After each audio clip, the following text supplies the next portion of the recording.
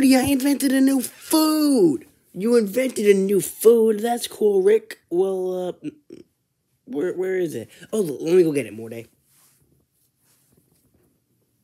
Okay, Morty. Here it is. There it is, Morty. Is that Rick? Why, it's an invisible Poopo Loco Bing Bong. Shit. Uh, okay, I, I literally forgot what you just said, but let me try it. Oh, well, okay, Morty, well, you can try it then. I will try it, Rick.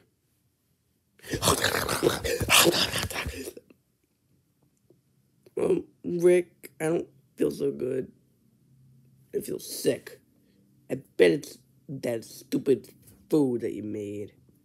You made up. Actually, Morty, well, it does have poop in the name. So, yeah, you might want to go to the bathroom.